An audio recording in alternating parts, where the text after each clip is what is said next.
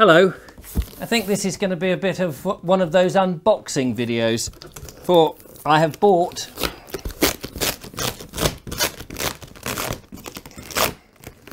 a Flymo lawnmower. This is the EasiGlide 300 and 300V. So let's have a look, see what's inside, shall we?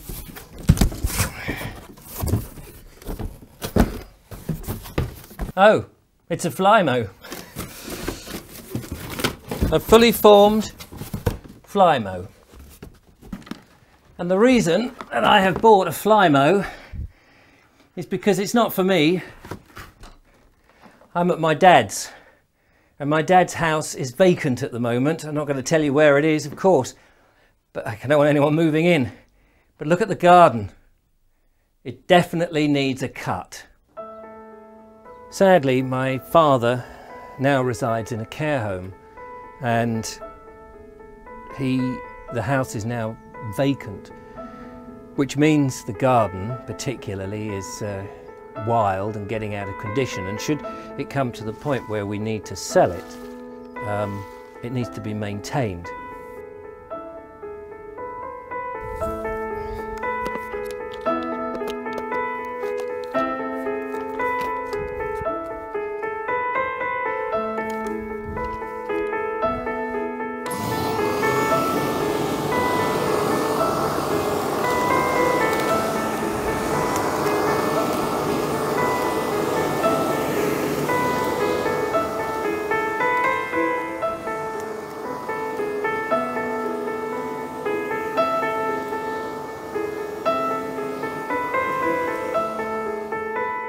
Well, I finished cutting the lawn now, um, and I'm in his old potting shed. And I had to purchase a new Flymo because his lawnmowers are, well, they're a little bit ancient, and um, they don't, they wouldn't really cut through the length of the grass. And in fact, I haven't done it particularly well. It's it's quite wet.